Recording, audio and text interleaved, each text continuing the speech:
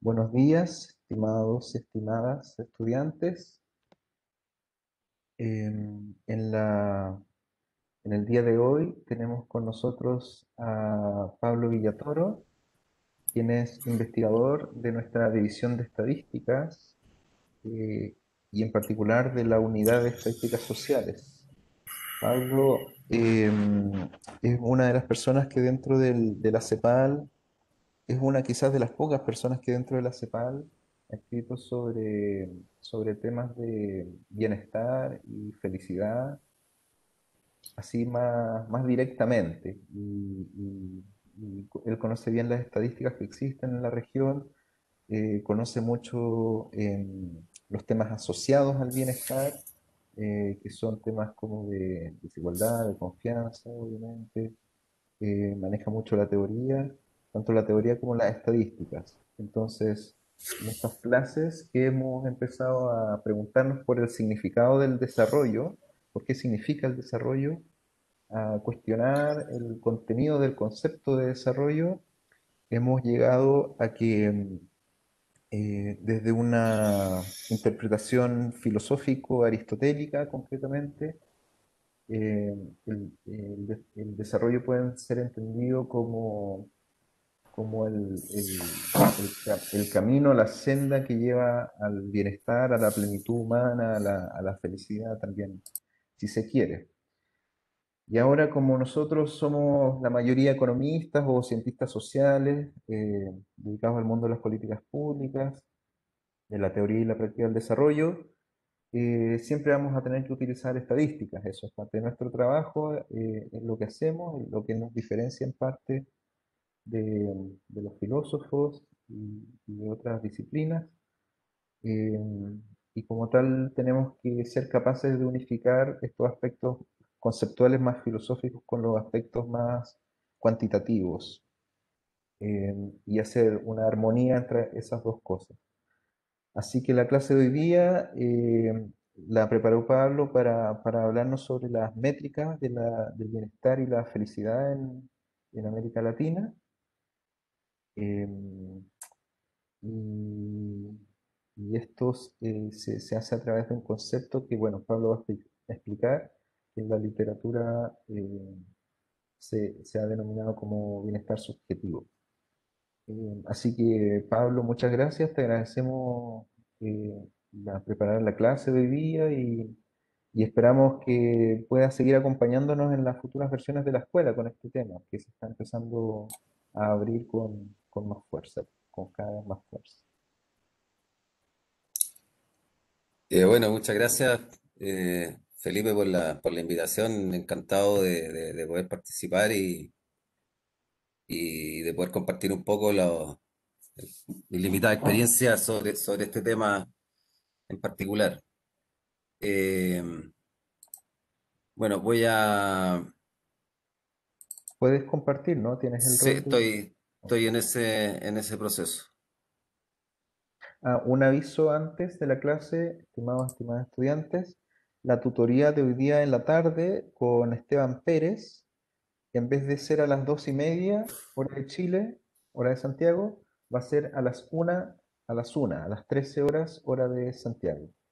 Eh, Andrea, de todas maneras, les va a poner un aviso eh, por ahí para que todos sepan, si es que no alcanzaron a ver. Bueno, Pablo, te dejo, todo tuyo. Ok, ok. Eh, se ve, ¿no es cierto? Está, compartida la, la compartida, sí. Buenísimo. Si pones que sea eh, modo presentación, sería eso. Sí, eso estamos. Em, bueno, primero, como decía, muchas gracias por esta, por esta invitación y como mencioné al comienzo, y, lo hablábamos off the record, digamos, cuando estábamos, eh, qué sé yo, en, eh, las sesiones, en el preliminar, el precalentamiento, al, digamos, al inicio de la, de la clase. Em, el tema del bienestar o el atractivo del tema del bienestar y de la medición del bienestar, digamos, en, mi caso particular,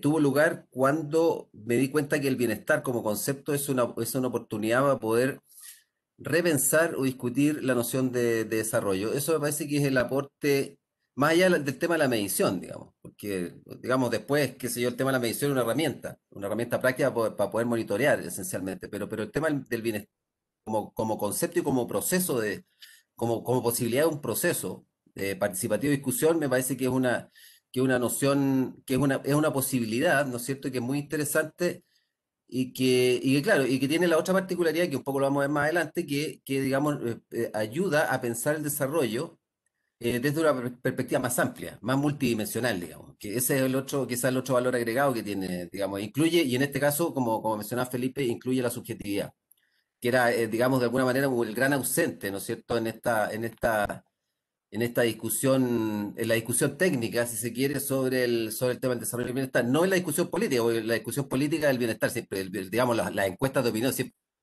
¿no? O sea, digamos, o sea, de hecho, están quizás demasiado, ¿no? Porque si uno lo mira, mira lo, probablemente los segundos pisos, ¿no es cierto?, de las oficinas asesoras de, la, de las presidencias de, de, cada uno de los países, eh, claramente las encuestas son, digamos, y, lo que piensa la gente, lo que opina la gente es una cuestión fundamental, digamos, o sea, pero no así análisis técnico, hay una cosa medio esquizofrénica ahí. Entonces, por un lado, que sé un exceso de confianza, ¿no es cierto?, en estas estadísticas de bienestar subjetivo, digamos, o de opinión, ¿no es cierto?, y por otro lado, eh, ignorarla, ¿no? Porque es una cosa que no, en realidad son, son números que, no son comparables interpersonalmente, que sé yo, tienen una serie de problemas metodológicos, etcétera, no, mejor eso, casi basura, ¿no es cierto?, en términos que, que, que, no sirven de nada en comparación a, los coeficientes Gini, que sí son estadísticas robustas, sólidas, ¿no es cierto?, son elefantes, ¿no?, que uno puede, digamos, eh, poder, eh, que uno puede explotar con, con, total confianza. Y como vamos a ver, vamos a ver más adelante, eh, digamos, yo diría que mucho de eso, de eso está cambiando, todo esa, digamos, son básicamente prejuicios, ¿no es cierto? Y que uno puede perfectamente avanzar hacia una, eh, digamos, uso de, este tipo de información de una manera eh, sólida, robusta, fiable, ¿no? Em, entonces, ese es el primer punto que me gustaría hacer y que es, es, es la oportunidad que provee, eh, digamos, el concepto de poder repensar la noción de desarrollo. Bueno, Voy a, voy a tratar de... ¿Cuánto tiempo tengo a todo esto? Debo tener unos, unos 40, 50 minutos, ¿no? Una hora tienes, Pablo. Una hora, una hora. Bueno, entonces lo que voy a hacer primero es, eh, digamos, alguna discusión muy breve sobre el, el digamos, el, el, rol que ha tenido normalmente. O sea, primero estamos entendiendo por información subjetiva y después, digamos, para medir el bienestar. ¿no es cierto? Y, luego de eso, eh, eh, digamos, eh, vamos a, ver brevemente cuál es el rol que por lo menos desde la, desde la economía y, básicamente la filosofía política, ¿no es cierto?, se ha definido, ¿no es cierto?, a, la información subjetiva para poder medir el bienestar. Y a continuación, de todo esto en lo conceptual, vamos a ver algunos argumentos que, ¿no es cierto?, que nos permiten problematizar la visión tradicional, ¿no es cierto?, la visión tradicional sobre, sobre, el, sobre la, la posición que puede tener la información subjetiva en el bienestar y eh, también identificar algunos beneficios, ¿no es cierto?, que esta, eh, digamos, que, el uso de esta información puede proveer o puede, o puede traer al, análisis de política pública. Y, también al no solo a la política pública, sino también a la comprensión de la sociedad en la cual vivimos, digamos, ¿no? Porque al final es, de eso se trata, más allá del... Porque una, cosa es, digamos, la, cuestión estrecha técnica, ¿no es cierto?, de la racionalidad con arreglo a, a fines, ¿no es cierto?, pero otra cosa es la comprensión de la sociedad como un todo. ¿No? Que nosotros estamos más en el plano de las políticas, pero, pero sí, si uno quiere pensar la sociedad, ¿no es cierto? También esta información es muy, es muy, muy relevante. Y, bueno, y, después de eso vamos a ver algunos indicadores que están disponibles y que nos permiten hacer algún tipo de, o sea, iniciar algún tipo de reflexión o algún tipo de análisis. Digo iniciar porque todavía en el ámbito de la información, de la explotación de la información subjetiva en los países, de, que disponible en los países de la región, yo diría que estamos todavía en una fase muy, muy preliminar, ¿no? que, hace falta, o sea, esta es un área que, que, está, va a crecer mucho. O sea, yo, digamos, yo ya soy un tipo ya de más de 50 años, creo que voy más hacia de vuelta que de ida pero yo sé que ustedes van más de ida, ¿no es cierto? Por lo tanto, por eso me parece que, que son ustedes básicamente los que van a tomar esta posta, ¿no es cierto? Y van a, van a, van a, van a, van a, van a digamos, usar esta información, eh, digamos, y bueno, los invito, digamos, a usar esta información que está disponible, que en realidad lo que hay que hacer ahí es tratar de, de ponerle un poco de cabeza, digamos, de, de, de, poner un poco y de crear teoría, básicamente, porque en el fondo ahí tenemos un problema más o menos serio también, digamos, que eso no lo, bueno, eso es lo que vamos a ver en la primera parte y en la segunda parte nos vamos a meter ya más de lleno al tema del bienestar, bienestar subjetivo, la diferencia con el bienestar psicológico, tipos de, de, información subjetiva. Y para terminar, en la tercera parte eh, vamos a ver, eh, algunas, eh, digamos, vamos a discutir esta, las nociones de las mediciones de bienestar desde el punto de vista más metodológico, que tiene todo lo que tiene que ver con la validez y confiabilidad de las mediciones, ¿no? Básicamente eso, o sea, digamos, em, y en el caso de, sobre todo la gente que quiere hacer investigación comparada, ahí el tema es la, la validación intercultural, digamos, ¿no? Esa, es una cuestión fundamental que, que, digamos, cuando uno está comparando países, ¿no es cierto? En el fondo, en el caso de la medición de bienestar, uno, no tiene los dólares PPP, ¿no es cierto? No tiene, no, tiene la variedad de poder adquisitivo. Entonces, en el fondo, lo que está haciendo, y lo vamos a ver más adelante, es comparar probablemente eh, distintos usos de escala de la población y cuando me refiero a distintos usos de escala, me refiero a, cómo la gente se, eh, utiliza las alternativas de respuesta, las mismas alternativas de respuesta que le puede proveer el investigador, ¿no es cierto? Eh, entonces, ahí hay un ámbito de desarrollo metodológico, hay herramientas metodológicas que se pueden ocupar, ¿no es cierto? Pero eh, todavía es un campo que está muy, muy poco explorado, ¿no es cierto? Y en realidad uno lo que hace como analista, todavía como analista un poco rudimentario, es, es la comparación entre países sin, sin, sin tener todavía claro si efectivamente las diferencias que se observan, o sea, qué parte de las diferencias son verdaderas y qué parte de las diferencias son por cultura, por decirlo de otra manera. Eh, bueno, vamos a entrar directamente a la materia. ¿Qué, entendemos por información subjetiva para medir el bienestar?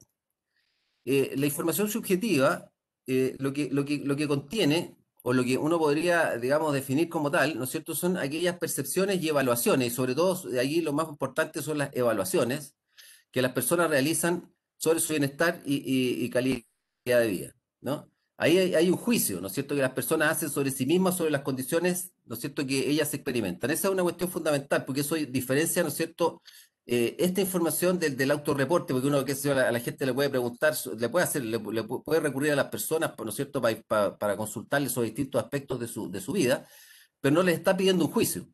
¿No? O sea, uno cuando le pregunta a la gente, bueno, ¿cuánto gana usted? No le está pidiendo, ¿cómo, cómo cree usted que es su ingreso? ¿Es bueno, es malo, regular? No, sino que uno le pregunta, ¿cuánto gana usted? ¿No? Entonces esa es la diferencia. El juicio las personas hacen acerca de lo que les pasa, de cómo viven, de sus condiciones materiales. Ese, ese es el, ese, digamos, es la revolución, entre comillas, que hace el concepto de bienestar en, en, la, en la, en la, en, eh, casi una, eh, digamos, no, es una revolución estrictamente epistemológica, pero sí una revolución en el sentido que, que, que digamos, recurre, recurre el actor, ¿no es cierto?, y, y, le pregunta sobre lo que le pasa, ¿no? Cosa que en general, el, digamos, en la, en, la, en la, política pública convencional, eh, no, no, o, sobre todo el análisis económico típico no, no ocurre, digamos. Uno trata, en el análisis económico típico, uno, uno externa, objetiva, objetiva, entre comillas, ¿no? Externa, ¿no es cierto? Donde, donde trata de que no, de que la, de, que la, percepción del sujeto no contamine, ¿no es cierto?, el juicio, el juicio sobre el este juicio objetivo, neutral, ¿no es cierto?, aséptico sobre el bienestar. Bueno, ¿qué, qué, aspectos, qué, qué, tipo de percepciones y evaluaciones de las personas eh, pueden, eh, caben dentro de la noción de bienestar o calidad de vida? Aquellos aspectos que son directamente observables, por ejemplo, qué satisfecho está usted con la calidad de su vivienda, qué satisfecho o insatisfecho está con, con las áreas verdes, ¿no es cierto? Eh, y aquellos aspectos no directamente observables como la felicidad, la satisfacción con la vida, la autorrealización. Eh, digamos que para, para, para eh, el, mayor interés, ¿no es cierto?, de la información subjetiva para medir el bienestar está en el segundo aspecto, en lo no observable, ¿no? El primero es, es, importante siempre y cuando uno no tenga información acerca, digamos, objetivamente medible, ¿no es cierto?, acerca de, por ejemplo, cuántas personas hay en la casa o si la, si la vivienda por ejemplo, tiene piso de tierra o no la tiene. O sea, ahora, eh, digamos, si uno no puede observar eso, uno no puede preguntar, o no puede observar las áreas verdes, etcétera, cosa que es muy difícil. Cuando tiene información sobre eso, uno, uno puede, digamos, recurrir a la información. ¿Cómo califica usted su vivienda? ¿No? Pero en este caso, lo preferible es, es la información objetiva. Ahora, en el caso de los aspectos no directamente observables, como felicidad, satisfacción con la vida y autorrealización, ahí no tenemos otra alternativa, ¿no es cierto?, que recurrir a los juicios de los actores, por lo tanto, aquí la información, eh, digamos, sobre, sobre la información subjetiva pasa a ser fundamental. Entonces, también las percepciones, la información subjetiva para medir el bienestar incluye las percepciones y evaluaciones que las personas realizan sobre la calidad de la sociedad, sus instituciones y las relaciones entre los grupos que la, que la conforman. ¿Ok? Este aspecto es, es importante ¿no es cierto?, de de, eh, digamos, de, en términos de, lo que, de lo que contiene o de, lo, que, a lo que permite acceder la información subjetiva, porque por un lado uno tiene las percepciones y evaluaciones que la realizan, las personas realizan sobre sus vidas particulares y otra cosa son las percepciones y evaluaciones que las personas realizan sobre la vida en la sociedad en general. No están necesariamente correlacionadas entre sí. Eso es importante tenerlo en cuenta. Muchas veces, no sé si ustedes recuerdan un, eh, un informe que salió del, del PNUD hace unos años atrás que tenía que ver con que presentaba una especie de paradoja, ¿no es cierto? Que había, la gente en Chile tenía una alta percepción de un, altos niveles de malestar, ¿no es cierto?, con, con, distintas instituciones, pero a su vez tenía altos niveles de, de, bienestar subjetivo. Y se presentaba eso como una paradoja. En realidad no es tan paradojal, en realidad lo, que, lo normal, ¿no es cierto?, es que hay una disociación entre, entre, entre ambos elementos. O sea, la gente tiende a evaluarse mejor a sí misma que las condiciones en las cuales vive. Eso lo vamos a ver, lo vamos a ver, digamos, eso, digamos, hay evidencia empírica, digamos, de eso, ¿no? Entonces, eh, pero son, son distintos indicadores. En el fondo son distintos animales, por decirlo, ¿no? No, no, son, no son equivalentes, no son intercambiables. Son, miden cosas distintas. O sea, una cosa es lo, que la gente piensa sobre la sociedad, otra cosa es lo que la gente piensa, o, digamos, para no hacer el, el, sinónimo, es lo que la gente dice sobre sus condiciones de vida. Porque, ojo, que lo, que la piensa, lo que la gente piensa no es equivalente a lo que la gente dice. Y eso es importante en, el caso de la, de, la, de, la, de la encuesta, ¿no? O sea, porque el autorreporte no es, igual a no es estrictamente igual a percepción, pero eso lo vamos a ver nuevamente más adelante en la parte metodológica. Bueno, y por último tenemos aquellas percepciones y valoraciones que aunque no implican un juicio directo de las personas sobre su bienestar, eh, sí permiten aproximarse a este. Nosotros vamos a entrar en esta parte en, esta, en, esta, en este curso básicamente a, a las percepciones que las, las personas y evaluaciones que las personas realizan sobre su bienestar y calidad de vida y sobre la, calidad de la sociedad, instituciones y grupos, pero esta, esa segunda parte la vamos a ver más marginalmente. Bueno, desde el punto de vista teórico, yo creo que esto, esto ya muchos, si son economistas, deben tenerlo bastante claro, ¿no es cierto? Que, eh, digamos, en términos de cuál, cuál es la, el rol que tiene la, la información subjetiva o la dimensión subjetiva, si se quiere, en, los enfoques de cada uno, los enfoques dominantes o hegemónicos, en, digamos, en, en, el ámbito de la evaluación y la medición del bienestar. Ahí en el cuadro, ¿no es cierto?, que está presentado en la, en la PPT, aparece la pregunta inclusión de la dimensión subjetiva, en el fondo la respuesta es sí o no, o, o, parcialmente, ¿no es cierto?, y cruzado con el enfoque. ¿no? Y digamos en términos de, de la relevancia que se le da desde el punto de vista teórico y del punto de vista práctico. Ustedes pueden ver que, por ejemplo, el caso del utilitarismo, ¿no es cierto? el happiness, ¿no es cierto? La noción de, la utilidad como flujo ónico, placer, dolor, o sea, la, digamos, la, subjetividad es una cuestión fundamental. Sin embargo, el problema, el, digamos que el, hedonímetro, ¿no es cierto? Que, que, se pensó en algún momento nunca se llegó a construir, ¿no es cierto?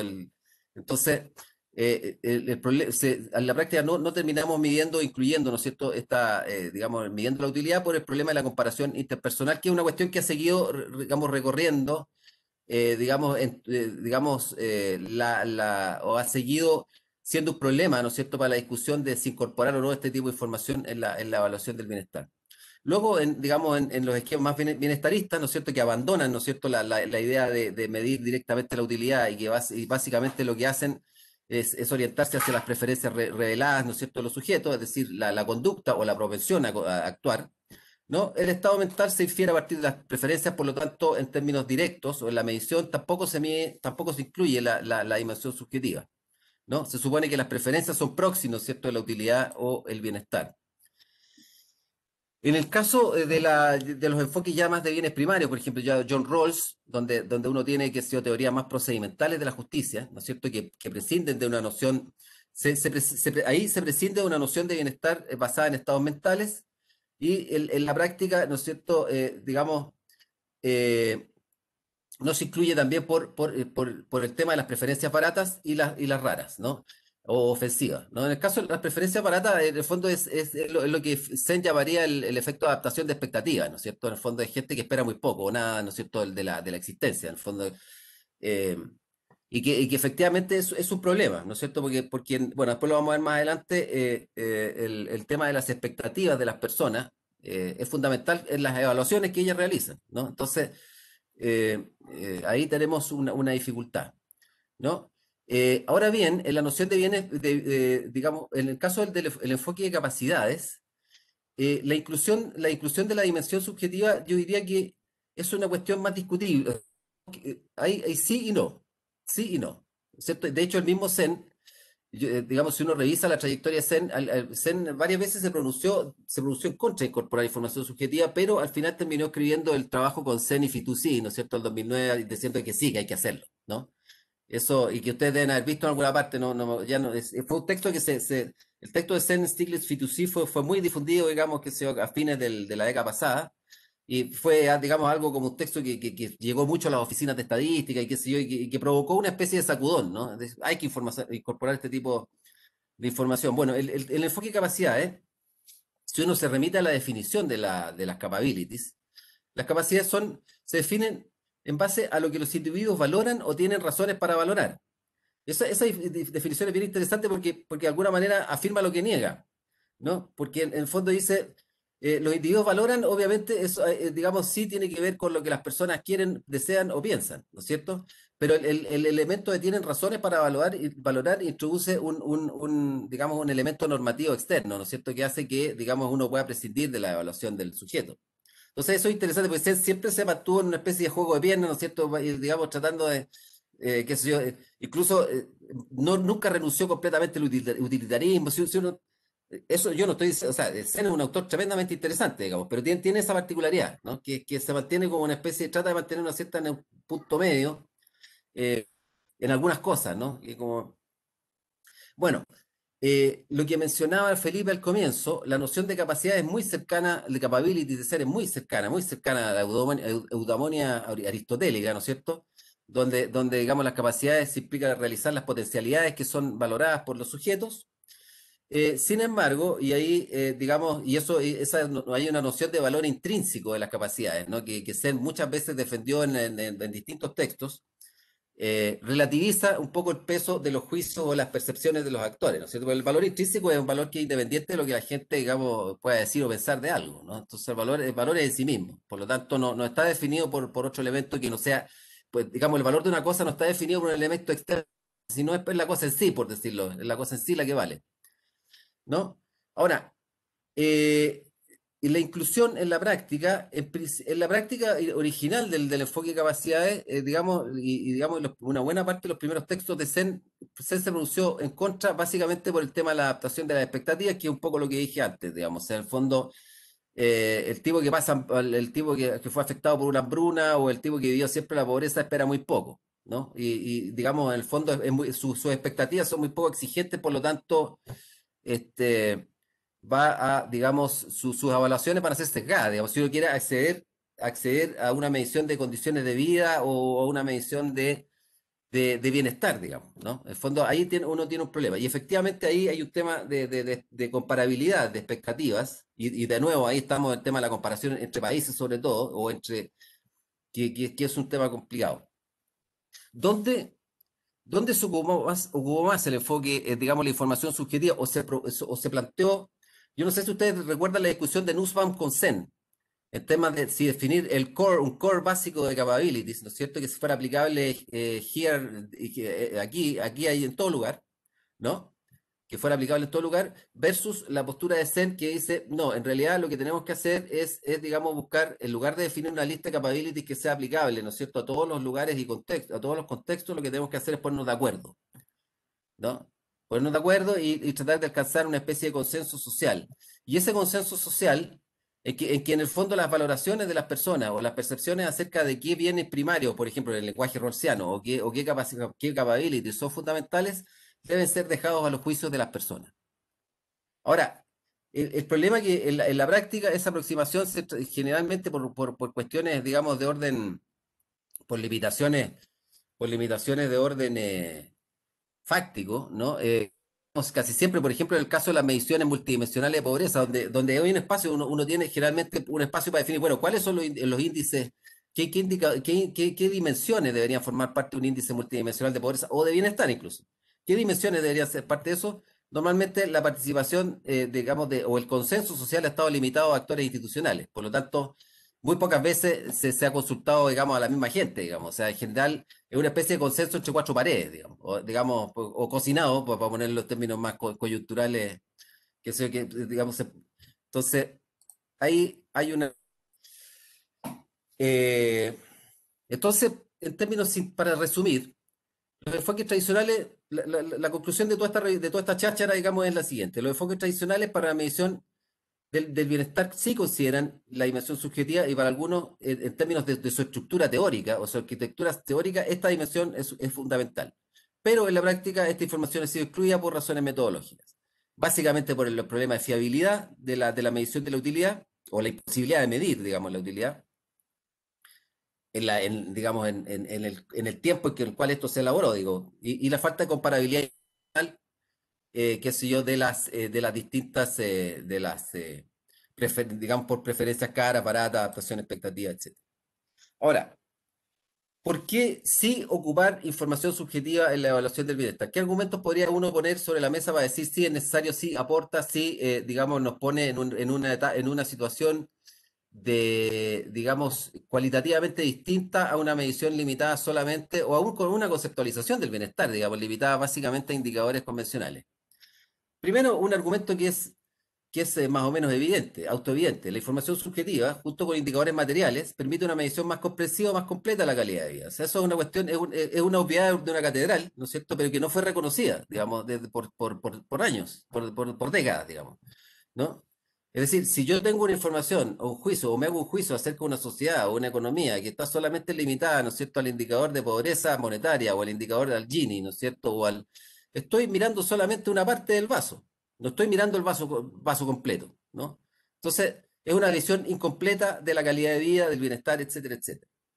Segundo, las medidas subjetivas informan sobre patrones que no están reflejados en los indicadores convencionales, complementando estos últimos información. El, argumento de la complementariedad es un poquito engañoso, digamos, porque normalmente si uno busca el significado, complementariedad es algo que, que secunda, ¿no? Pero que es algo secundario, digamos, o sea, que, que, provee información adicional, pero no, no es la información central, ¿no? Siempre, claro, cuando uno, cuando uno, normalmente es como una forma, de, una forma de, de decir, mire, no es tan importante, pero, pero, pero sí, pero sí, ¿ya? Eh, pero eh, más allá de la, de la cuestión semántica, eh, sí hay una, hay una, digamos, aporte de información adicional. Esa cuestión está clara. Eso sí, más allá de la discusión. Eh, tercero, que este es un argumento quizá podríamos llamar que sea populista, para, ponerlo, que los indicadores subjetivos reducen la brecha entre las estadísticas oficiales y la percepción que las personas tienen acerca de su propio bienestar. Eso, si ustedes leen el informe de Sen Stiglitz Fitoussi, era el tema central, digamos, en el fondo es cómo es posible, la pregunta que se hacían los tipos agarrándose la cabeza, digamos, cómo es posible que en sociedades tan que hemos alcanzado estos niveles de desarrollo tengamos estos niveles de malestar. En el fondo, esa es la pregunta.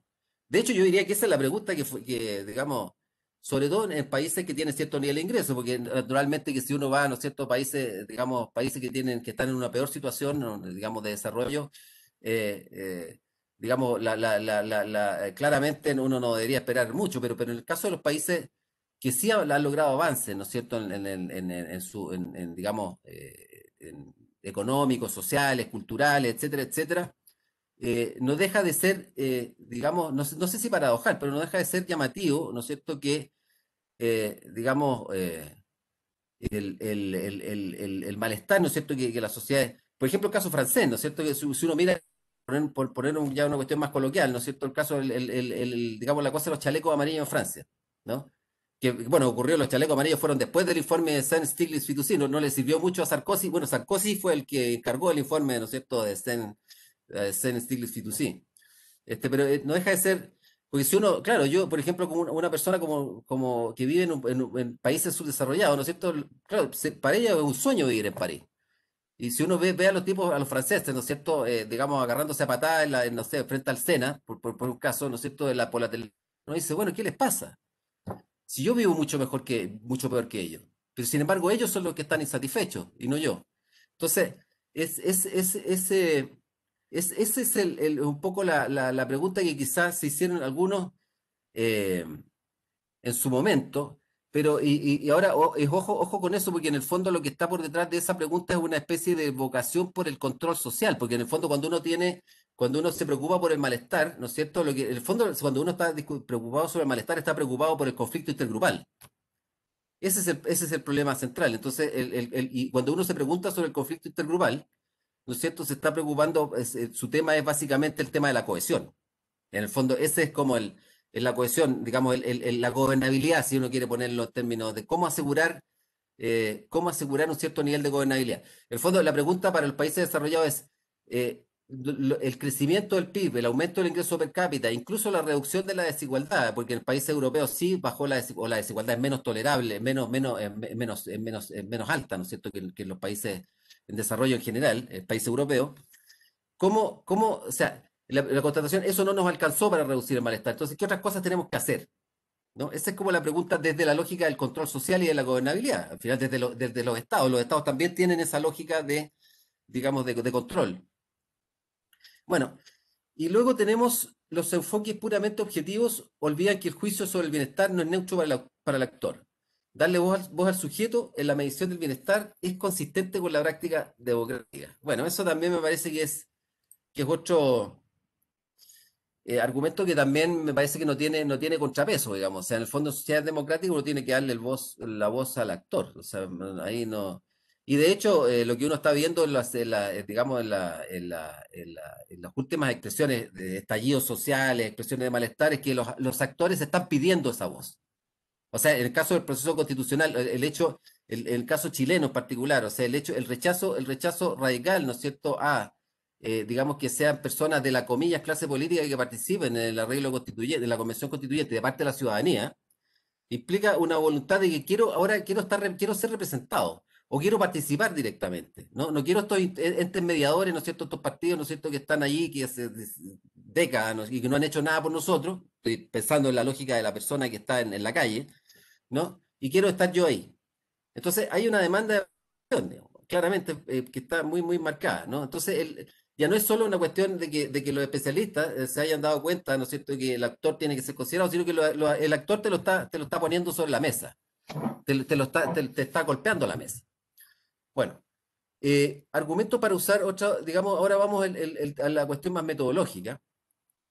Pues primero pusimos argumentos más de orden conceptual o de, desde lo metodológico, eh, la idea de que los estados mentales no pueden ser medidos de modo fiable es incorrecta. Es incorrecta. O sea, digamos, básicamente yo diría que esa es una noción básica que, tiene que ver básicamente con, con la separación histórica que ha habido, o sea, por la falta de, multidisciplinaridad histórica que ha habido entre en particular la economía y la, psicología, ¿no? Porque en el fondo y la psicología social. Porque si hay una, digamos, en el campo del bienestar, de, la información subjetiva, si hay una disciplina que, se, que mide, ¿no es cierto?, que se ha dedicado y que lleva décadas, ¿no es cierto?, midiendo, eh, la usando información subjetiva para medir el bienestar, es la psicología. Y en particular, hay una disciplina, ¿no es cierto?, que se llama psicometría, ¿no es cierto?, que está muy desarrollada y que está instalada desde décadas, décadas. Y, y, por otro lado, claro, está la econometría, ¿no es cierto? Y cada cual tiene su parcela y tiene su, ¿no es cierto? Construyen un muro, construyen un muro que ese muro que se está empezando a caer. Y eso me parece que es una cuestión súper positiva. Ojalá que se caiga y se caiga en ese muro y otros y otros más. ¿no? Entonces, eh, la, digo, la, la, evidencia, la idea de que los estados mentales no pueden ser medidos muy fiables es incorrecta. Hay evidencia reciente y no tan reciente, en realidad que se ha ido acumulando por los últimos 40 años. Ahí le puse reciente porque eh, quizá eh, que, indica que las medidas subjetivas de bienestar tienen niveles moderados de validez y fiabilidad, tal cual las tienen las medidas objetivas. Si, si, uno, cuando uno critica los indicadores, ¿no es cierto? Eh, uno puede, digamos, si uno, si uno se, pone a revisar la, cantidad de críticas que puede hacerse, por ejemplo, las medidas de... Uno, son, es una cantidad importantísima, ¿no? O sea, sea las medidas de desigualdad que se basan básicamente, se basan, por ejemplo, solo en encuestas de hogares, sea las medidas de desigualdad que se basan solo en cuentas nacionales o registros tributarios, todas tienen limitaciones, todas, todas, todas, todas tienen limitaciones. Entonces, eh, no son efectivamente, eh, digamos, instrumentos, o sea, uno no puede, no puede, digamos, estas, medidas no pueden pararse ahí arriba del pedestal y decir, no, nosotros sí somos las medidas fiables. La verdad que no es así. Bueno, entonces, esta, la evidencia, ¿no es cierto?, que tenemos acá es que los indicadores subjetivos están en una situación más o menos comparable a los indicadores convencionales. Lo que uno podría este, em, ¿qué usos posibles podemos hacer de, la, información subjetiva? Esto, esto es una cuestión más bien, aquí vamos a pasar un poco rápido porque eh, me estoy, estoy un poquito corto, medio, me, me quedan como, ah, una hora, todavía me quedan 25 minutos. Bueno, ¿qué usos posibles puedo hacer de la información subjetiva? Más allá de describir, ¿no es cierto?, los patrones o la tendencia, que las tendencias en algunos indicadores. Puedo hacer, por ejemplo, para aquellos interesados en el ámbito de las políticas, de las políticas o análisis de bienestar, eh, hacer análisis de economía política, regímenes de, regímenes de bienestar. Por ejemplo, actitudes y preferencias eh, por la redistribución del ingreso. La relación entre equidad y malestar social. A mí me parece que este, ese tema es un, tema fundamental, fundamental, sobre todo en, los países como, como países latinoamericanos, que están en procesos de, donde, los regímenes de bienestar todavía son muy precarios y están en proceso de, ¿no? Entonces uno tiene, digamos, la incorporación del análisis de economía política, donde uno mezcla información objetiva con, eh, comillas, objetiva con, con, preferencia o con información de opiniones de los actores, es, fundamental. Si ustedes buscan, por ejemplo, buscan las relaciones, buscan información, literatura de los países nórdicos, hay un montón, montón porque los tipos se, dieron cuenta, ¿no es cierto?, que, eh, digamos, para implementar, en el caso de, los modelos socialdemócratas, ¿no es cierto?, de países escandinavos, se dieron cuenta que las variables de percepciones son cruciales. Por ejemplo, el tema de la confianza. El tema de la confianza. Si uno, si uno por ejemplo, mira los niveles de confianza interpersonal, que medidos a través del World Value Survey, y eh, digamos, entre los países nórdicos, los compara con, los niveles de confianza interpersonal eh, en América Latina, es para ponerse a llorar. Es para ponerse a llorar. Realmente. O sea, digamos es, ahí una brecha eh, y, que, y, que, significa una forma de vida distinta, digamos. O sea, cuando yo confío en los demás, eh, eh, digamos, claramente el tipo de sociedad que, que, se construye, ¿no es cierto?, es, claramente distinto a uno donde uno anda a la defensiva, ¿no es cierto?, donde no confía en nadie. digamos, y, claramente el, tema de la, de la desconfianza, desconfianza y teorías conspirativas, ¿no es cierto?, son dos cuestiones que están absolutamente, están absolutamente correlacionadas, digamos. O sea, desconfianza, eso, ese es un tema el tema de la teoría conspirativa y, la, erosión de la capacidad, por ejemplo, de gestionar crisis, ¿no es cierto?, de los gobiernos. Es otra cuestión que también no, la puse ahí, pero un tema emergente. También que uno podría, ¿no es cierto?, usar información eh, subjetiva. Bueno, transformaciones socioeconómicas, por ejemplo, como globalización e impacto en la subjetividad, por ejemplo, desconfianza, inseguridad, xenofobia, eh, este, la estratificación, identidades sociales y conflicto entre grupos, ¿no? Y, otras cuestiones más eh, de orden más, eh, digamos, de, digamos, de construcción de instrumentos para políticas públicas, por ejemplo, para parametrizar indicadores multidimensionales de bienestar. Por ejemplo, consultar a la población acerca de qué dimensiones deben ser parte, digamos, de un índice o qué indicadores deben y cómo, cómo tienen que ponderarse, cuánto tienen que pesar, etcétera, o qué, qué tan importante tienen, etcétera. Y como indicadores de mediciones multidimensionales de calidad, bienestar, pobreza, desigualdad, etcétera. Em, bueno, aquí les voy a mostrar solo brevemente alguna información que nosotros, que nosotros eh, digamos, procesamos habitualmente eh, y que está disponible en Cepalestat y que, bueno, venimos manteniendo, que es, básicamente la... una, ¿Aló? Eh, claro, hubo una, una, interferencia, pero, pero no importa. bueno, algunos datos eh, ustedes, por ejemplo, acá tienen la, evolución de las percepciones de injusticia en la distribución del ingreso. Si ustedes se fijan, por ejemplo, donde está la... Esto, esto, estos son datos que tenemos desde 1997 a 2018.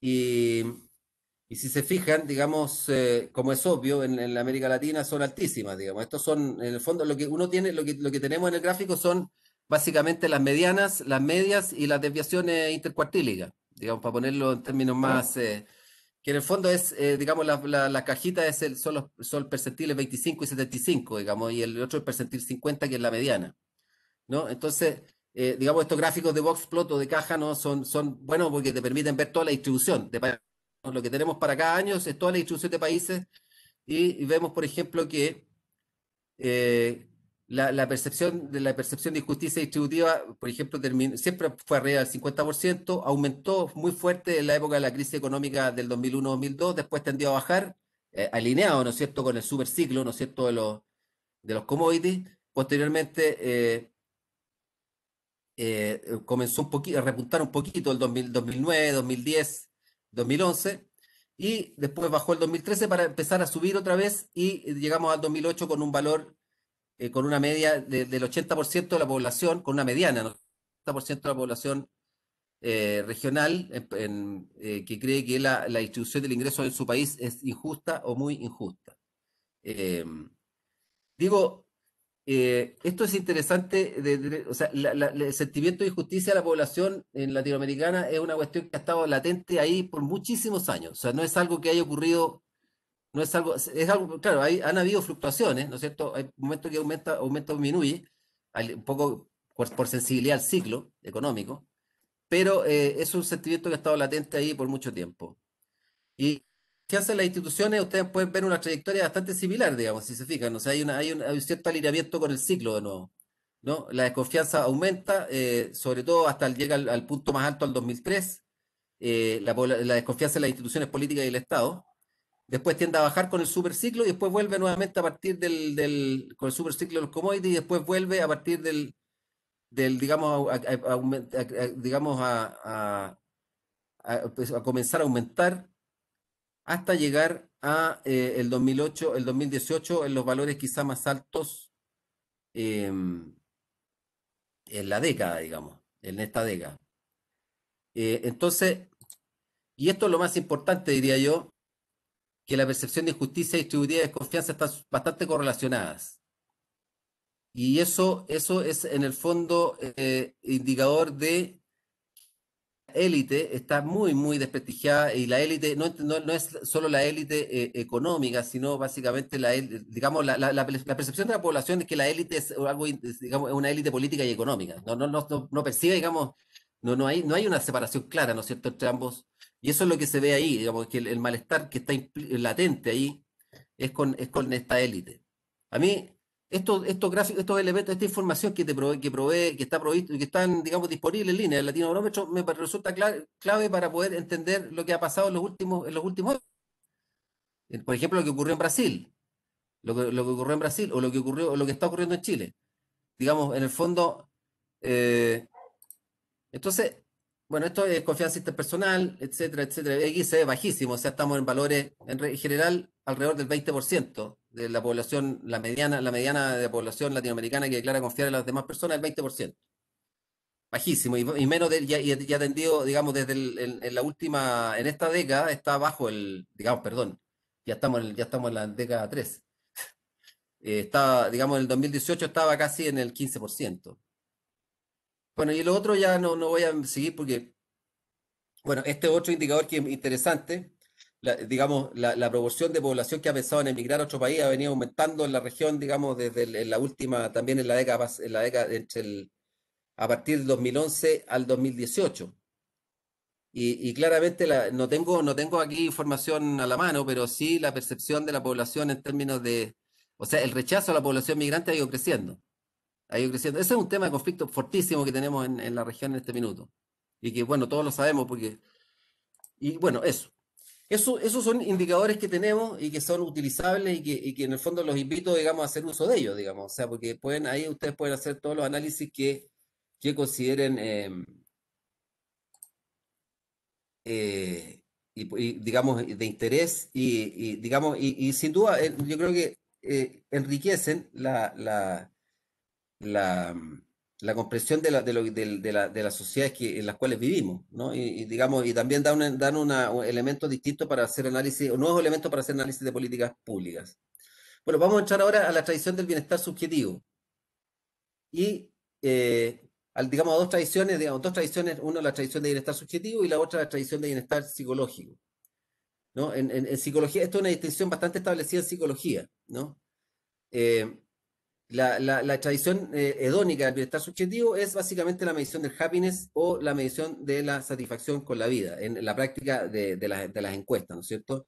Y por otro lado, la tradición de eudamonia o de funcionamiento psicológico, digamos, esta, tradición que más entronca más con la noción aristotélica, ¿no es cierto? O, eh, digamos, de, Zen, eh, se expresa en, en, constructos como el significado, sentido de la vida, la autorrealización, la competencia, el compromiso, la autoconfianza, etcétera, etcétera. Eh, tiene que ver básicamente con, una noción de habilitación psicológica, ¿no? capacidad de funcionamiento psicológico. ¿no? Entonces, son dos constructos distintos, son dos, digamos, dos tradiciones conceptuales distintos, eh, digamos, dos tradiciones conceptuales distintas. Una es el bienestar subjetivo, happiness, y otra es bienestar psicológico, que es eudamonia, ¿no? y que se expresan en, digamos, en, preguntas de encuestas distintas, en instrumentos de medición distintos, está más desarrollado lo que tiene que ver o por lo menos más difundido, no, no sé si más desarrollado, desarrollado más, más difundido, en, sobre todo en investigación que, que, que, o en datos que usan economistas, eh, está más difundido la noción de bienestar subjetivo, menos el, el ámbito del, del, del, funcionamiento psicológico, a pesar de que sí en el funcionamiento psicológico hay bastante literatura, ¿no? Hay bastante literatura. Eh, lo que pasa es que, eh, digamos, la, la, cercanía teorética, ¿no es cierto? La cercanía teorética del bienestar subjetivo con, del happiness, con la utilidad, es muy, muy atractiva para, muchos economistas. Por lo tanto, yo creo, no, se explica también eso, que, que haya habido una especie de sesgo, ¿no es cierto? Y además, eh, también es más barato, ¿no es cierto? Porque normalmente, y como vamos a ver más adelante, o sea, en muchos casos se ocupa una pregunta, digamos, la pregunta, la bala de plata, ¿no es cierto? Que es, que, ¿qué tan feliz se siente usted? ¿Qué tan feliz o qué tan satisfecho está con su vida? Entonces, el bienestar subjetivo incluye las distintas evaluaciones que las personas realizan sobre sus vidas y las circunstancias que viven. Incluye emociones y estado de ánimo, satisfacción con ámbitos particulares y juicios globales de satisfacción. Satisfacción con ámbitos particulares, que sea satisfacción con su relación de pareja, satisfacción con, la casa donde vive, satisfacción que sea con el trabajo que tiene, etcétera, etcétera. Eh, en general, bueno, esto no lo, la satisfacción, la satisfa cuando uno pregunta por satisfa satisfacciones, ¿no es cierto? Satisfacción con trabajo, satisfacción con la vida, perdón, satisfacción con el trabajo, familia, amigos, eh, qué sé yo, tiempo libre, etcétera, están correlacionadas. ¿eh? En general la gente tiende a contestar en, en, paquete, ¿no? Pero bueno, eso... La satisfacción con la vida, en general, es la calificación, digamos, es un ejercicio de calificación global que se le pide al encuestado, ¿no es cierto? De su vida como un todo con referencia a algún y ahí está, ese, digamos, sería la incógnita, ¿no es cierto? En, en el, no, lo, no sabemos cuál es ese umbral de comparación, ¿no? Eh, son las expectativas, la situación de un grupo de referencia, etc. Y la satisfacción con el dominio, esto en el ámbito técnico, digamos, eh, son las evaluaciones que realizan las personas sobre ámbitos particulares, salud, trabajo, tiempo libre, etc. Y la felicidad global es el grado en que una persona disfruta de la vida que lleva. Incluye afectos positivos y negativos. ¿Ya? Entonces, ¿cuáles son las diferencias entre la satisfacción con la vida y la felicidad? Esto dentro de la tradición del subjetivo. Eh, ambos, esto está dentro de esa tradición, ¿no? La satisfacción con la vida refleja la distancia percibida de, de, los individuos respecto a un umbral de comparación X. En cambio, la felicidad es el balance de afectos, afectos positivos y negativos. Entonces, en el fondo, la, la, la, la, uh, digamos, el, ejercicio de evaluación que realizan las personas cuando se les pregunta sobre la satisfacción que tienen con la vida como un todo, con su vida como un todo, tiene más elementos cognitivos, más elementos de, juicio racional, digamos, ¿ya? Eh, y que no es, y mientras que happiness o la felicidad es más, es más emocional, ¿no? Y no necesariamente hay una correlación tan estricta o tan fuerte entre ambos, ¿no? Los juicios, o sea, en fondo, en el fondo es, es decir, los juicios cognitivos como la satisfacción con la vida en general o con dominios, pueden no cuadrar perfectamente con las emociones. Cuando una persona puede estar relativamente satisfecha y no tener un alto nivel de emociones positivas, digamos, ¿no? Y, y en general, hasta ahora, eso por lo menos, eso es lo que yo vi con una, en una revisión que hice hace tiempo, en todo caso, ¿no? que un poco la entregué en el, la entregué como material anexo a la PPT, eh, digamos, en, la, por lo menos en los estudios que yo revisé hasta el 2012, ¿no es cierto? La, satisfacción con la vida correlacionada mejor con indicadores socioeconómicos que la felicidad, y me parece que eso debería mantenerse así, debería seguir siendo así, ¿no? O sea, si uno quiere, si uno quiere tener una, una, usar la satisfacción como, como una especie de, como un indicador adicional algún índice, en un índice de, de, de, de estándar de, de, condiciones de vida o de calidad de vida, es mejor la satisfacción con la vida que la felicidad, en principio. Me da, la impresión. Eh, bueno, bienestar, en cuanto a bienestar subjetivo y condiciones materiales de vida, las encuestas suelen incluir preguntas sobre la percepción de los sujetos respecto a sus condiciones materiales de vida. Y estas preguntas, eh, como mencioné antes, son más adecuadas para aproximarse al estándar de vida porque están vinculadas explícitamente a una noción de bienestar económico, mientras que la satisfacción con la vida y la felicidad son nociones más, eh, más difusa, ¿no? Entonces, en cuanto a la medición, eh, primero una cuestión que es más o menos evidente, que la felicidad, la satisfacción y los sentimientos de autorrealización son experiencias internas, estados mentales. Es, esta cuestión es muy importante tener en cuenta, porque en, la psicometría, en general, todas las, digamos, la, la, las técnicas que se han desarrollado en psicometría están básicamente construidas pensando en este problema de, que los constructos que estamos tratando de, medir son, son estados internos. En el fondo son, son inobservables. Esa es una, es una diferencia eh, muy, muy, muy marcada con, con, digamos, con, lo que, con lo que los, en general los economistas, o sea, o digamos los analistas de políticas públicas tratan de, que sea, no sé, porque uno ve, por ejemplo, las transferencias de ingresos. Es otra cosa, digamos. O sea, o por ejemplo, si uno tiene medir las condiciones de la vivienda, son, son otro tipo de fenómenos, digamos. ¿No? Son fenómenos claramente observables. O sea, si uno quiere, por ejemplo, la, pobreza, la pobreza, los indicadores no monetarios de pobreza son absolutamente observables. Uno va a una población, ¿no es cierto?, una villa, miseria, y, digamos, tiene, digamos, uno puede ver efectivamente si, por ejemplo, si tienen, si cuánta gente hay en, la casa, el tamaño de la vivienda, la, calidad de los materiales de la vivienda, incluso puede ver, digamos, otras señales, ¿no es cierto?, de, de, salubridad o higiene, ¿no es cierto?, dentro del, dentro del entorno, si hay basurales o no hay basurales, etcétera. Es decir, cualquiera que, que, tenga la noción del campamento, villa miseria o favela o lo, digamos, o lo que sea, sabe que la pobreza es, es un fenómeno eh, en sus expresiones materiales, es una cuestión directamente observable, no es como el happiness, ¿no es cierto? La felicidad o la satisfacción, etcétera, que son estados internos. Entonces, en las encuestas, o sea, ahora, la felicidad y la satisfacción puede ser aproximada a través de expresiones fisiológicas, por ejemplo, actividad cerebral, pero esto todavía no es factible de hacer en estudios con muestra grande. Yo no sé si en el futuro nos van a escanear, digamos, eh, van a hacer un escáner del cerebro a partir de con, las computadoras, y vamos a estar todos en, línea y vamos a tener una... A lo mejor eso sucede. Bueno, porque al final, eh, digamos, a partir de la actividad cerebral, ¿no es cierto? Con, con escáneres uno puede, digamos, aproximarse al, digamos, al nivel de felicidad que puede tener una persona. Podría eventualmente eso suceder de aquí a, si estuviéramos en un escenario del gran hermano, así, digamos, un poco demencial, casi orwelliano, ¿no es cierto? Control pero que no necesariamente sea un Estado central, sino que puede ser de, de las corporaciones, ¿no es cierto?, lo que sea. Uno podría eventualmente suponer que, eh, qué sé yo, los futuros, los Mark Zuckerberg del futuro van a monitorear, van a monitorear cómo lo que nuestra actividad de, de, cerebral. Pero eso, esto ya es parte de, la, de la de, otro, de otro tipo de, de, digamos, de ficción y que no tiene... Bueno, en, en general, los métodos más empleados en las encuestas son entrevistas y cuestionarios, con preguntas de carácter retrospectivo y escalas ordinales de respuesta. ¿Ya? Y también se han desarrollado procedimientos para captar la experiencia hedónica presente, el método de reconstrucción del día. Eh, em, el método de reconstrucción del día es muy parecido, no sé si a la gente que tiene experiencia en, encuestas de presupuesto y gasto familiar, es muy parecido. O sea, porque en la encuesta de presupuesto y gasto familiar a la gente se le pregunta que registre de manera detallada exactamente todos los gastos que se realizó qué sé yo, durante, durante un periodo de tiempo, qué sé yo, no sé, y diariamente, por cada hora, etcétera. En el caso de la, de la, experiencia, digamos, los métodos de reconstrucción del día, se reconstruye la experiencia adónica, en que a la persona se le pide que vaya registrando cada cierto periodo de tiempo, en, en, en un, eh, que es un, eh, con una cierta periodicidad y de manera detallada, que sé cuál es su experiencia, su estado de ánimo, ¿no? Esas son, obviamente, las mediciones más detalladas. Bueno, aquí no me voy a detener demasiado. Eh, habitualmente las preguntas usadas son considerando todo. Por ejemplo, usted diría que es muy feliz, bastante feliz, poco feliz, nada feliz. Por ejemplo, la, pregunta que hacen, considerando todo, ¿cuán satisfecho o insatisfecho está usted con su vida como un todo? Completamente satisfecho a completamente satisfecho.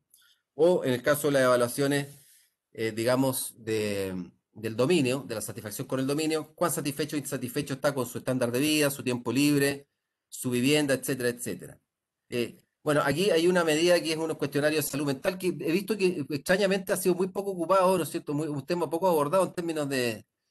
Esta, digamos, la medición de la salud mental está mucho más en la, línea del, bienestar psicológico, más que del bienestar subjetivo.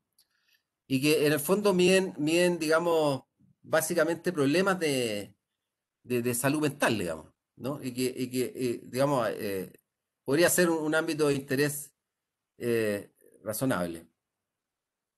También está la, pregunta típica, es la autoevaluación global de la salud, que también es muy utilizado por, por economistas, ¿no? no necesariamente en este formato de escala, ¿no es cierto?, 1 a 7, pero en el caso de la CACEN Chile 2017 se ocupó así, pero, pero hay otros, digamos, también se lo, he visto también formas de esta autoevaluación global de la salud más corta, con menos, con menos pisos, con menos, creo que con 5 puntos, no con 7 puntos, etcétera, etcétera. Aquí no, no voy a seguir con esto porque, bueno, Acá hay otro, otra, otro ámbito, ¿no? Que es el tema de la discriminación percibida, por ejemplo, que ya no es, no es el bienestar psicológico, ¿no es cierto?, ni subjetivo, sino que son otros indicadores eh, de bienestar subjetivo.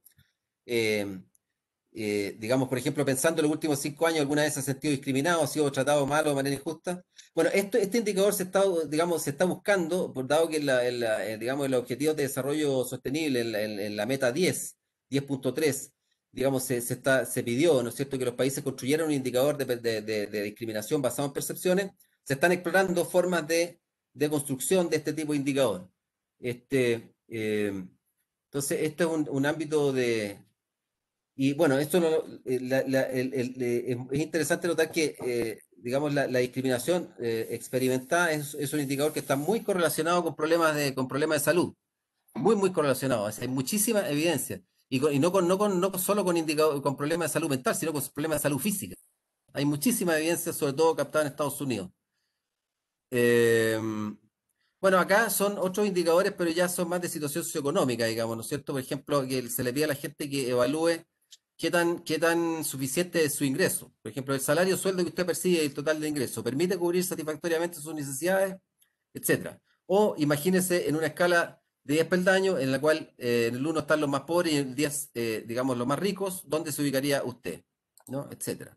Bueno, otro, las típicas preguntas de seguridad alimentaria entonces, el para trabajado en el tema pobreza, ¿no es cierto? Eh, digamos, tiene, bueno, y, también es, obviamente inseguridad alimentaria, tienen que conocer estas escalas que han sido básicamente promovidas por la FAO y que, y que han sido validadas, digamos, sometidos, digamos, básicamente a, métodos de, validación a partir de análisis de teoría de respuesta al ítem.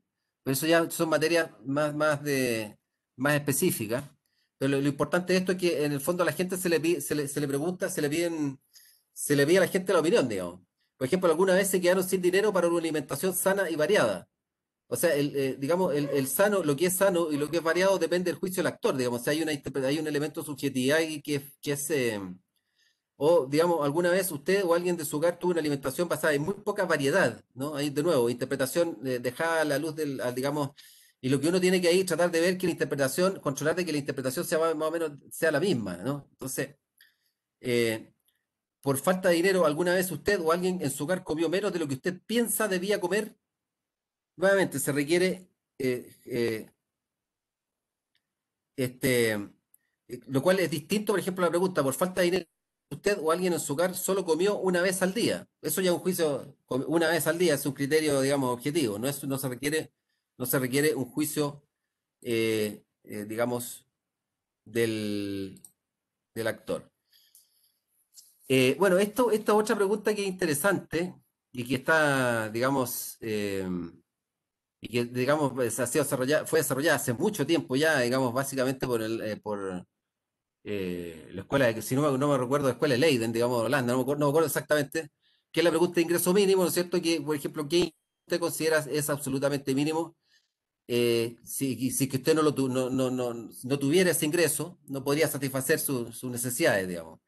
Entonces, es, ese método, digamos, que se, ha utilizado para establecer líneas de pobreza subjetiva y, eh, digamos, y se ha contrastado, ¿no es cierto?, esa línea de pobreza subjetiva con, eh, digamos, con las líneas de pobreza objetiva. En el fondo, es un indicador útil para poder calibrar, ¿no es cierto?, la adecuación del, del, del, del, eh, digamos, del, umbral de pobreza objetivamente definido, ¿no es cierto? Y esta, digamos, esta construcción generalmente se hace con modelos de regresión. Em, eso es para en el caso del ingreso. Ahora, no sé, eh, algunos, eh, si han leído Ravalion, eh, se van a reconocer esta, este copy-paste. Esto, esto es un copy-paste descarado, ¿no es cierto? Que, digamos, se pregunta sobre la pregunta de ecuación del consumo. Se dice, por ejemplo, el ingreso, la pregunta del ingreso mínimo es de, relevancia dudosa para los países, digamos, sobre todo para zonas rurales, que la gente puede no, no tener noción de cuál es el ingreso mínimo. Entonces, fondo, eh, lo que dice, eh, creo que con Loshkin, no me acuerdo exactamente, dice, dice las líneas de pobreza subjetiva pueden ser derivadas usando, eh, digamos, evaluaciones cualitativas simples de la ecuación del consumo. Dice, por ejemplo, en relación a su consumo alimentario familiar sobre el último mes, ¿qué, qué, cuál de las siguientes afirmaciones es verdadera? ¿Fue menos, menos que adecuado, adecuado o más que adecuado? Entonces, en el fondo, eh, ahí se plantea una, también una forma de, poder establecer estas líneas de, pobreza, pero para indicadores que no son monetarios, ¿no? Y, contrastarlo con, los umbrales. Em, creo que ya estoy pasado, ¿no? Y, no he llegado a la parte metodológica. Eh, quizás podemos dedicar algunos minutos más, Pablo, no te preocupes. Bueno.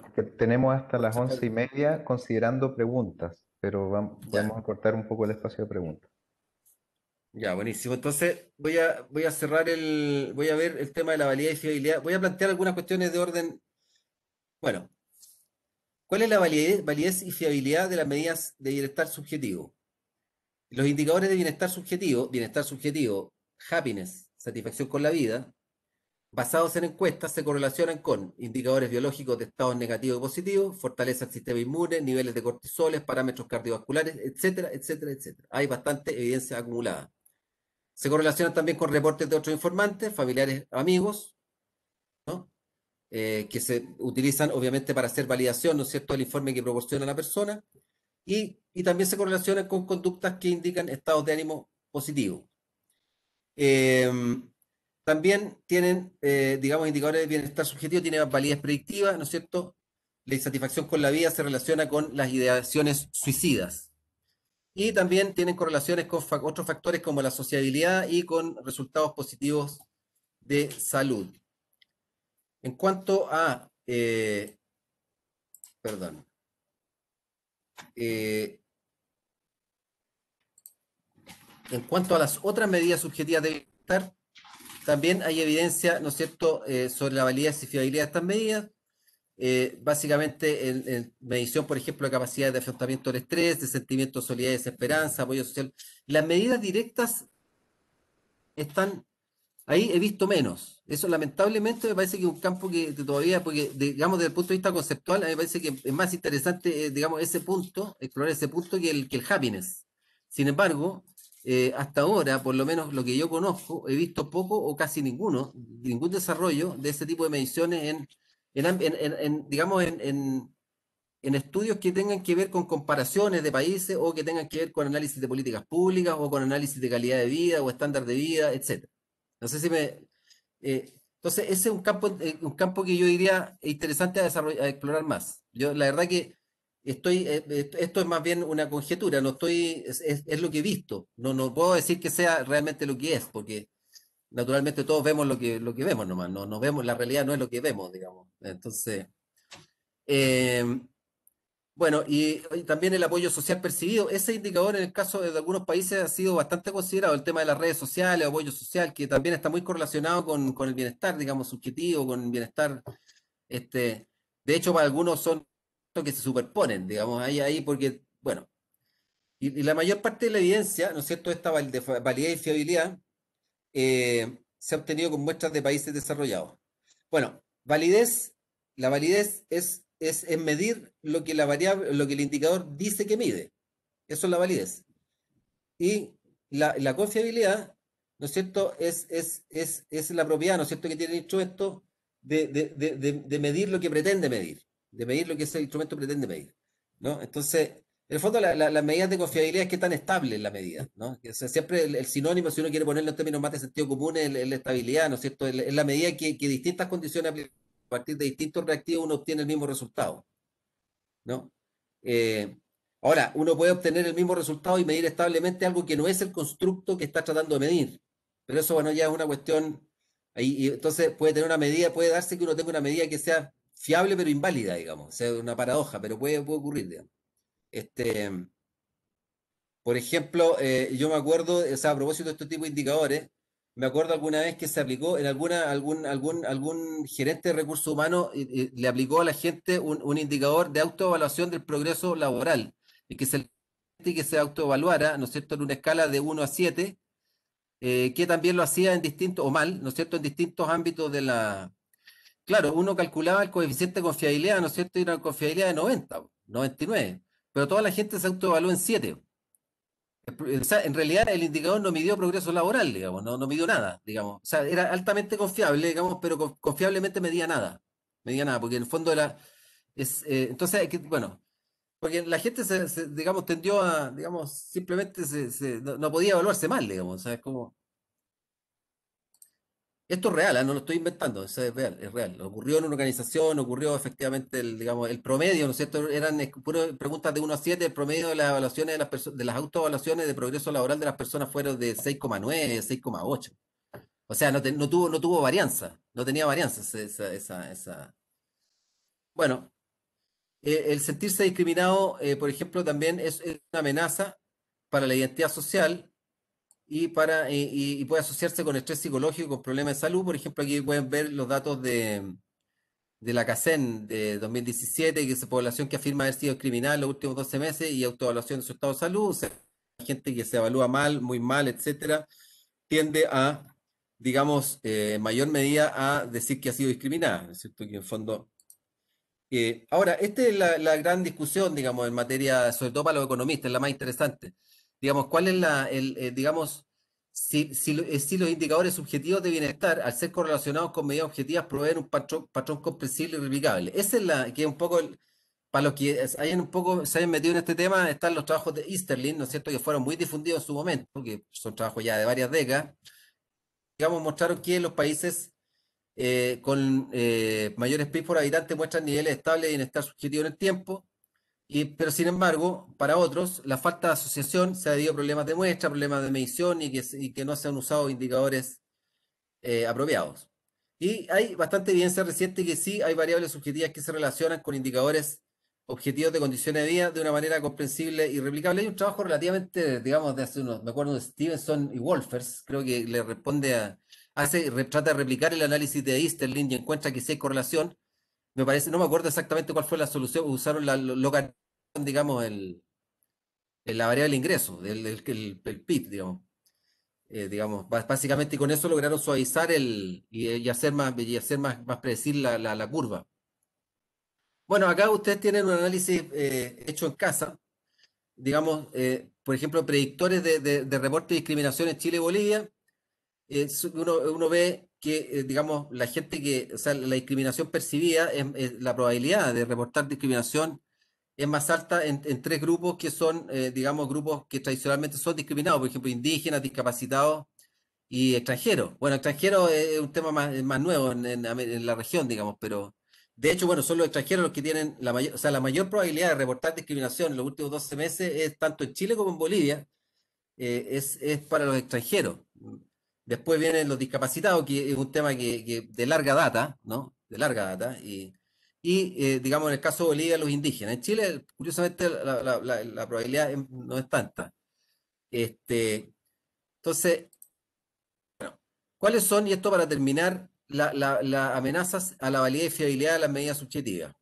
¿ya? Eh, vamos a ver el tema de la adaptación, eh, que básicamente tiene que ver con lo que, este, aquí, bueno, ya estamos casi terminando, yo diría, pero por ejemplo, aquí me gustaría que vieran este dato de Argentina, que es un dato sobre la eh, evolución de la pobreza de ingresos y la percepción de insuficiencia de ingresos para satisfacer necesidades. Si ustedes se fijan, por ejemplo, entre el 2019 y el 2020, la pobreza por ingreso, medida objetivamente, aumentó en tres puntos, digamos, de, de, digamos, de 41 a 44, y sin embargo, la, la percepción de insuficiencia de ingresos para satisfacer necesidades bajó de 57 a 48.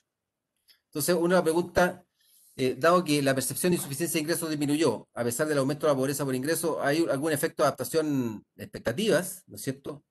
Este, esa es una pregunta que, eh, digamos, siempre uno debe tener, eh, debe tener el tema de las expectativas en consideración cuando uno hace mediciones de, con expectativas muy bajas. Yo, yo me acuerdo en algún estudio que me tocó, algunos datos que me tocó comparar, ¿no es cierto?, de evaluaciones del, del sistema de, de, satisfacción con la calidad de la educación. Pero es una pregunta.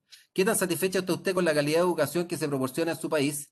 Y el país donde la gente estaba más satisfecha con la calidad de la educación que recibían, estoy hablando del año 2000, en América Latina, en 18 países, era Nicaragua.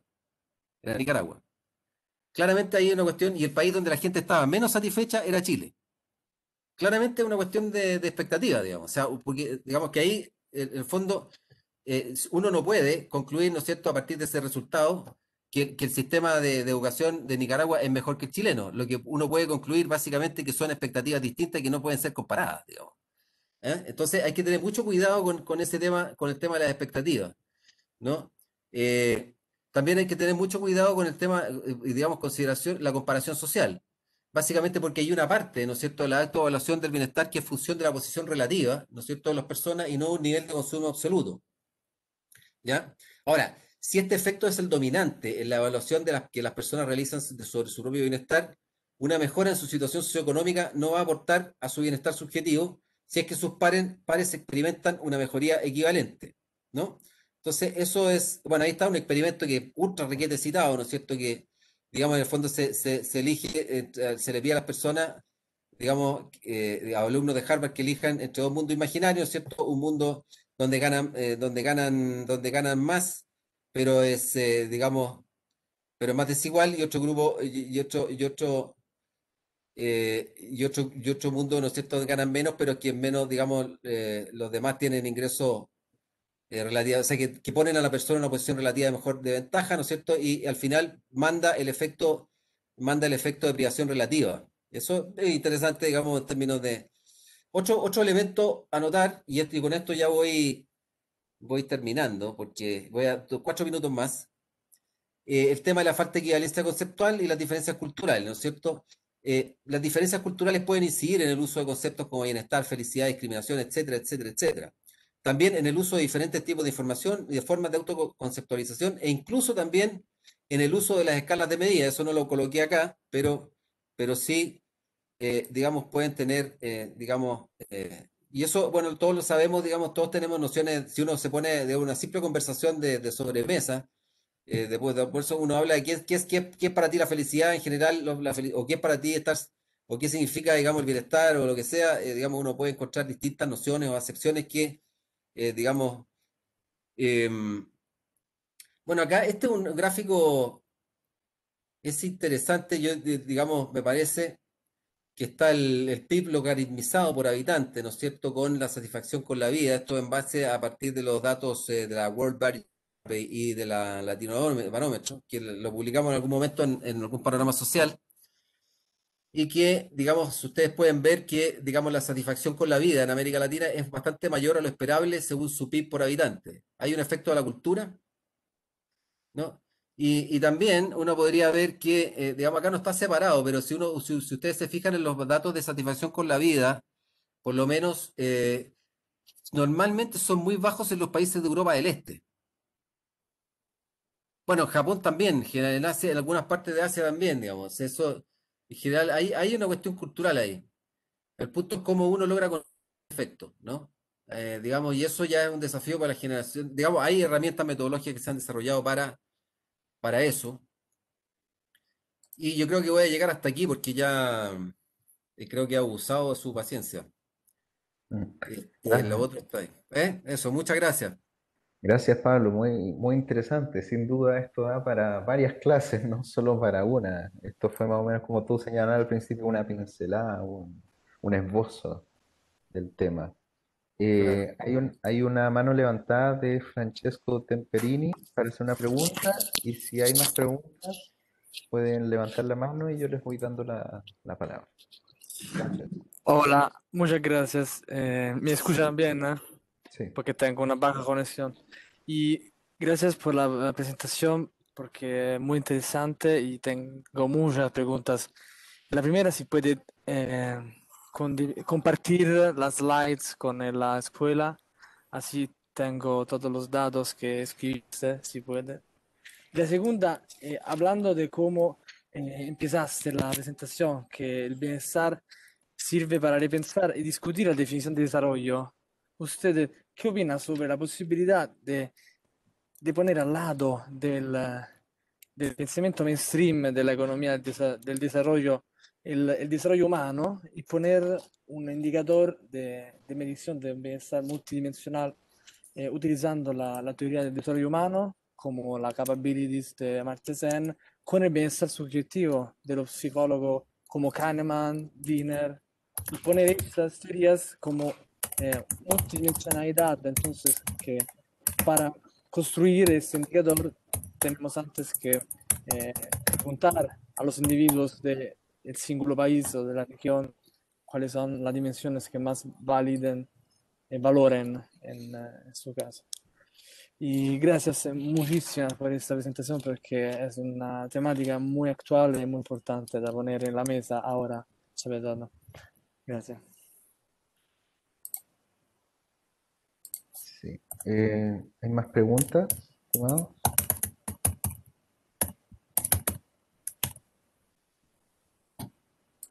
No, parece que no. Vamos con esa pregunta entonces. Eh, eh, Francesco, ¿no? Sí, por supuesto, las láminas, las láminas están, digamos, las puedo compartir. De hecho, las, las envié, están las envié antes, un poquito antes de la, de la, de la realización de la presentación. de hecho, la tiene, Felipe debe tenerla, ¿no? Sí, está subida ya. Eso. Entonces, no hay problema con eso. Y mm, respecto a la inclusión de algún indicador subjetivo en alguna medición de, mm, digamos, multidimensional del desarrollo humano, conceptualmente no tengo ninguna, no tengo ningún, ninguna eh, objeción. El punto es, cuál indicador, digamos. ¿Eh? esa es como la, digamos, esa es la pega, ese es el trabajo, digamos, y, es súper interesante si alguien puede, eh, digamos, hacer el ejercicio en base a la información disponible, porque aquí siempre, eh, digamos, o sea, una cosa es la, teoría, digamos, que, digamos, y el, el conceptual y que sí, toda la elegancia que pueda, digamos, y la, y la, digamos, la, la, completitud que pueda tener, en, digamos, o la promesa de completitud, la promesa de, digamos, de, la, de mirada, ¿no es cierto?, que te puede proveer un indicador que incorpora información subjetiva y la, la realidad en que la información disponible que los indicadores no funcionan siempre como uno quisiera, entonces ahí el, tema es eh, qué indicador. ¿No? Ese, es la. Y, también, eh, digamos, el, y, bueno, naturalmente construir una buena argumentación eh, conceptual y, sobre todo metodológica, ¿no es cierto?, que te permita justificar ese, ese indicador, porque dentro de esa estructura, pero me parece que es, yo, yo, digamos, yo, si tuviera tiempo y dinero, haría eso que tú estás haciendo, proponiendo. Yo tengo una pregunta, Pablo, pero no sé si, si, la, si tienes los datos así frescos. ¿Cuáles son los países más felices de América Latina?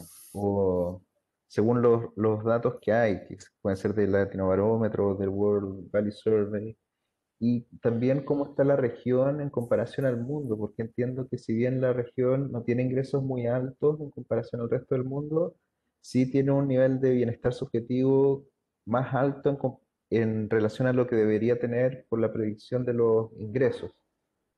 Eh, entonces te pediría si puedes comentar un poquito de esas comparaciones por país y por, y por región. Yo lamentablemente no, o sea, digamos, o sea, cuando me dijeron, cuando me, plantearon la posibilidad de, hacer esta sesión, eh, lo primero que pensé fue en buscar información, o sea, que más que pensé, lo primero que me parecía que, era una cuestión muy deseable era tener datos sobre satisfacción, de, digamos, o happiness para los países de la región, pero lamentablemente en el caso del Latino Barómetro, eh, digamos, las mediciones que se, que, se han hecho de satisfacción con la vida y happiness, eh, digamos, ah, no son comparables en el tiempo, porque ah, hicieron cambios en la forma de fraseo de la pregunta, por lo tanto no, no, no, no, no se puede. Y eh, no, la verdad es que no recuerdo, no tengo la información fresca de cuáles son los países que, mm, que tienen, que tienen, ahí no, no, te podría responder, digamos, la verdad, no tengo el, no tengo el dato, y no me tampoco a decirte, mira, es que, porque también hay, hay, fluctuaciones, digamos, o sea, yo recuerdo en algunos, o sea, me, me, acuerdo de casos así que son particularmente salientes, digamos, de algunas mediciones, por ejemplo, para Colombia, el año, en la época que todavía estaba el conflicto armado, los niveles de satisfacción con la vida eran altos eran muy altos. Entonces uno se preguntaba cómo, cómo era posible, ¿no es cierto?, que hubiese, pero era un caso particular, eh, digamos, eh, también tengo la impresión de que en general los países más del, que no son tan del cono sur, los niveles de satisfacción son un poquito más altos, ¿no? ¿Por qué? No, ¿Por qué? No lo sé, diferencia cultural, etcétera. En, en, en, Chile en general, me parece que si uno toma, eh, digamos, una serie de, de, de datos en el tiempo, me parece que, que, es más bajo, que, que, un poco más bajo que el, que lo que pasa en los países centroamericanos o lo que pasa en, eh, digamos, en los países del, norte de Sudamérica, pero no te podría decir que, que sea una cuestión tan robusta, La verdad que no sé, ahí no... Eso. Sí, porque va a depender del indicador de bienestar que se utilice también. Como tú señalabas, ahí están los indicadores de satisfacción con la vida y los de bienestar afectivo, los de afectos positivos. Son, muestran comportamientos distintos también. Sí, es interesante toda esa discusión. Hay una pregunta en el chat de Gonzalo López que pregunta si es que las migraciones tienen algún efecto sobre sobre los reportes que muestra un, país. Dice, el nivel de bienestar subjetivo superior al nivel de ingresos puede ser porque muchos que no están satisfechos con el nivel de vida en la región han migrado. Mm, está difícil la pregunta, no sé, yo no sé, no sé si existen estudios sobre eso tampoco. Eh, sí, eh, eh, lo que quería mencionar era que me llamó mucho la atención la última, el último gráfico que mostró que cuando se ponía el logaritmo de los ingresos, parecía que la región tenía pues una satisfacción de vida superior a lo que era en relación a los, a los ingresos. Entonces, claro, ahí ponía como que era el fenómeno de la cultura y posiblemente sí puede ser, porque yo estoy en la misma línea de lo que ha dicho usted. En Ecuador a veces se dice, mucho que es de los países más felices del mundo, etcétera, y los niveles de ingresos pues son bastante bajos, ¿no? Entonces a veces diera la impresión con todo respeto que estamos fregados pero contentos. Sin embargo, eh, no sé si tiene algo que ver la migración, pues muchas personas que no están satisfechas con el nivel de vida o con la forma en la que están viviendo en, eh, en un país determinado, pues migran. Y eso pues puede afectar de alguna manera, o también esto de la adaptación de las expectativas, no lo sé. Que lo veo un poquito difícil de, de explicar, no sé. A ver, yo, yo creo que el, o sea, es un buen tema. hay una cuestión que, que sí, sí es más o menos clara y que me parece que hay evidencia, es que, digamos, claramente la gente que, que está insatisfecha que tiende a emigrar, o sea, digamos, es casi una, precondición, digamos, ¿no? O sea, cuando hay, digamos, el, indicador de migración, la conducta de migración es un indicador de, de, insatisfacción, digamos, o sea, e, e, eso, eso sí. Ahora, ¿cuánto de eso, si uno toma el saldo neto y cuánto, cuánto afectó, ¿no es cierto? O cuánto puede, eh, digamos, ¿Cuánto de esa insatisfacción que restaste por el hecho de la migración en el país eh, te cambió el promedio del valor agregado? No lo sé. Ahí porque eso sería casi una pregunta, digamos, de, contabilidad estadística, pero, pero no tengo, o sea, ahí, digamos, porque hay, hay gente que, que, digamos, que emigró y que puede, eh, eh no sé, en el caso venezolano, yo no sé cuántos de venezolanos, que, que, son los que han aportado la gran masa de migrantes en los últimos dos o tres años, por lo que entiendo, eh, digamos, cuántos de esos migraron a países, eh, digamos, como de la región y cuántos otros pudieron migrar, eh, digamos, a países que son más desarrollados, ¿cierto? Entonces tampoco tenemos una, una idea clara de... Pero en el, en el, agregado, ¿no es cierto? En el país, en la gente que se queda, claro, podría haber un efecto dependiendo del, de, la, de, la, de, la, de, la, de la cantidad de gente que salió.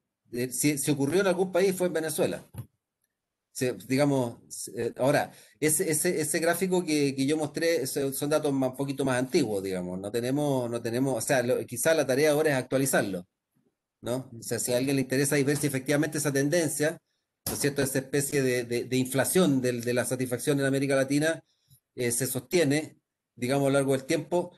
Ahora, eh, si fuese, digamos, si, si fuese cierta la, la, hipótesis que tú planteas, que no deja de ser interesante, digamos, esa, ese, esa debería mantenerse, esa, esa, o incluso haberse acentuado. Incluso haberse acentuado. Si el efecto fuera significativo, debería haberse acentuado. ¿No es cierto? El, digamos, deberíamos estar más inflados en términos de, entonces habría que, habría que ver, habría que ver, digamos, eh, no deja de ser interesante el tema, te invito a desarrollarlo. Hay, hay, otra pregunta de Katia Salinas en el chat que dice, ¿cómo considerar las diferentes percepciones de bienestar para crear políticas públicas más acertadas. Me imagino que está preguntando por la, por la, por la utilidad práctica para las políticas que tiene la consideración de estos indicadores para la política pública. Algo ya has mencionado en tu presentación, Pablo, quizás podrías, podrías decir algo más sobre eso. Sí, eh, bueno, esa, esa, esa, pregunta es una pregunta, eh, digamos, eh, difícil porque siempre siempre, siempre es difícil el, el, tema cómo uno incluye, cómo uno considera. A ver, en, la, primera, la primera cosa que, que, que, siempre uno debería tener en consideración eh, en el diseño de políticas públicas, por lo menos al momento del diagnóstico, ¿no es cierto?, es, recoger, eh, digamos, qué piensan o qué opinan las personas, cómo se sienten respecto al, digamos, a la política en particular o al, problema que la política pretende resolver. Estoy tratando de pensar en el campo del diseño de políticas públicas, o sea, digamos, y casi en una lógica más evaluativa, porque en el fondo ese, ese... Luego, eh, si uno, de, por ejemplo, dentro del diseño de una política pública, una política social, se plantea objetivos, ¿no es cierto?, específicos que tienen que ver con modificar ciertos aspectos relacionados con percepción que tiene que incluir esos indicadores, eh, digamos, como parte de la política pública. Por ejemplo, no sé, si uno tiene, si uno tiene eh, digamos, una, una política, por, por, decir, que yo, para un grupo de, eh, que está en una situación de vulnerabilidad social y que tiene, y donde, donde en el diagnóstico, se, por ejemplo, se observó que la autoestima de esas personas o la, o la baja autoconfianza es un factor que inhibe su capacidad, por ejemplo, de participar en el mercado de trabajo, uno podría, ¿no es cierto?, incluir un indicador eh, y digamos debería tratar de desarrollar una intervención que primero trate de elevar la, autoconfianza, la, autoestima a las personas y, digamos y, a partir de eso digo esto en el, campo de una política de una política de una pública en particular no particular digamos con un eh, o política programa proyecto social en particular y esa, esa es una cuestión de ahora otro plano de análisis es cómo se incorporan las diferentes percepciones o las percepciones de bienestar en el ámbito de las políticas de la política, de la política social, de la política pública más general. Y, en, particular en el ámbito de la gobernabilidad, porque creo que esa, es la pregunta como más de más compleja, digamos. Y, yo diría que eh, hay una, yo creo que siempre depende del, no, hay una, no hay una receta, no hay una receta, depende del contexto. Pero lo que sí hay que tratar de evitar es, la tentación de definir también toda la política pública en base a las, eh, a las, eh, a, las percepciones de los actores, digamos. O sea, en el fondo, porque ahí hay una, hay una, hay una posibilidad, hay, hay, un riesgo, ¿no es cierto?, de, que, de que la política pública se desborde a sí misma, ¿no? Que vaya más allá de sus posibilidades. Entonces, eso, eso digamos, hay, digamos, esto, todo esto también tiene, tiene un lado A y un lado B, ¿no es cierto? O sea, es, es, es, interesante, uno necesita la visión de los actores, pero tampoco uno puede construir la política pública exclusivamente en base a, la, a, la, a, la, a las percepciones de los actores, digamos. O sea, no, entonces hay que equilibrarse, ¿no es cierto? Hay que tratar de, buscar un punto medio, ¿no es cierto? Aunque suene un poco amarillo lo que estoy diciendo, pero, pero, pero más o menos eso, ¿no? Es sentido común también, no, tampoco estoy descubriendo la, la rueda, digamos. Claro.